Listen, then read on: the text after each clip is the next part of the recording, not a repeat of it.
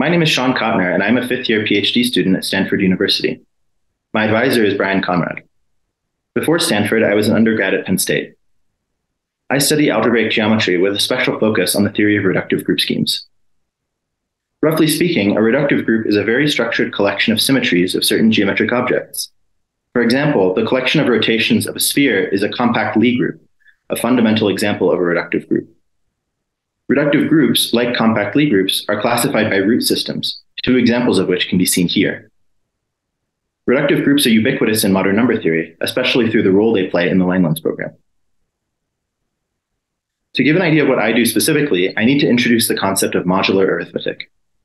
Say that two integers x and y are congruent modulo 12, for example, if their difference is divisible by 12. This is how AM and PM work. 13 o'clock is just 1 o'clock. If we consider integers up to congruence by a particular integer n, then we get a new and interesting number system. If n is a prime number, then this is an example of a field of positive characteristic.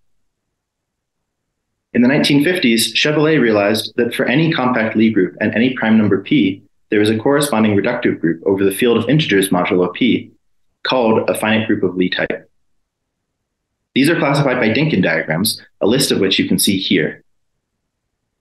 In the 1960s, de and Grothendieck showed that this is not a coincidence, and that in fact, compact Lie groups and finite groups of Lie type are both avatars of the same object, called a reductive group scheme.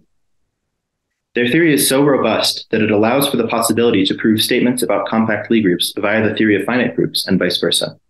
In my work, I have focused especially on centralizers and reductive group schemes, which form a very common class of subgroups which show up frequently in the Langlands program.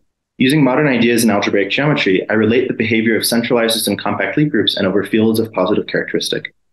As applications, I have been able to provide a better conceptual grounding for classical results in the theory of finite groups of Lie type, and in joint work with Jeremy Booher and Shiang Tang, we have proved new general statements in Galois deformation theory, extending results due to Clozel, Harris, Taylor, and Booher.